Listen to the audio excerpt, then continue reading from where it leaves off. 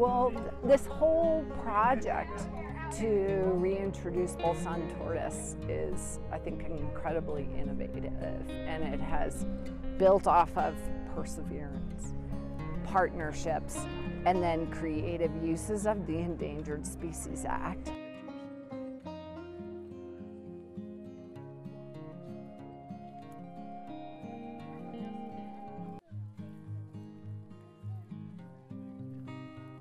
You know, it's really cool to reintroduce and think you're helping Bolson tortoises into the future, that they might not survive otherwise.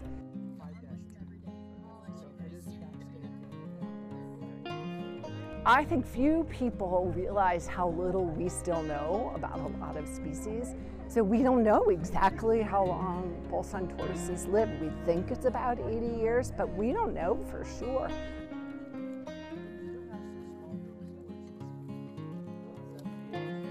Like this is this is so cool because we're thinking generationally, right? Which is the way we should be thinking.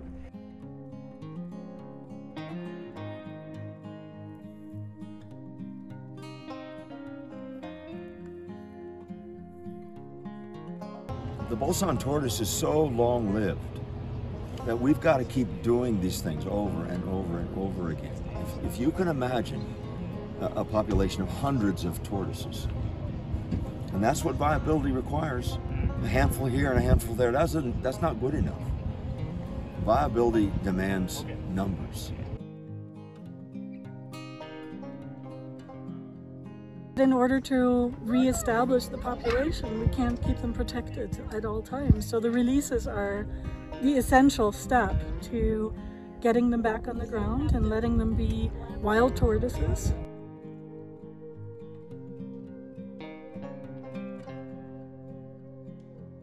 Because otherwise they're just managed tortoises. So this is, to, to us, this is the pinnacle of what we do.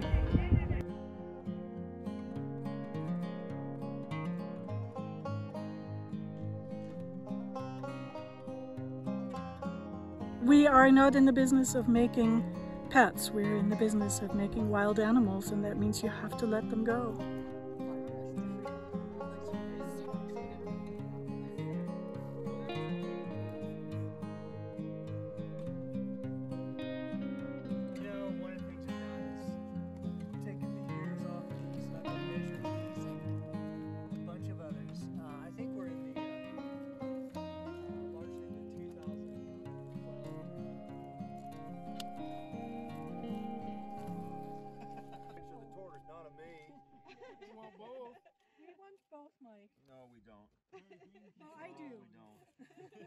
Jelajahi cara baru mendapatkan informasi. Download Metro TV Extend sekarang.